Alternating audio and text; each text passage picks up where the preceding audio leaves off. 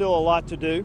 Um, there are still a lot of activities. There's a, here in Venice alone, we have over 2,000 people working on uh, the response right now.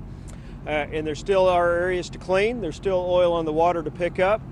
And I just stress we're going to be here doing that until the job is completely done. And once that's done, we've got to focus on the restoration activities, and we're going to be here for a very, very long time. I know people are worried about that. Now that the wells stopped flowing, will we pack up and go? And the answer is clearly no, we're not going to do that. Um, offshore, we continue to make progress. Um, we're running the casing in the relief well just now. Uh, we'll be cementing that casing later on tonight and into tomorrow. Uh, we've got the equipment all hooked up to perform the static kill. And, uh, and once we get the casing run and cemented, we'll actually perform that operation. Uh, once we get also the go ahead from Admiral Allen. And uh, so right now the current forecast is, is we'll do that activity on Tuesday. After that, we still have to finish the relief well. We'll still have to go and intercept this well bore.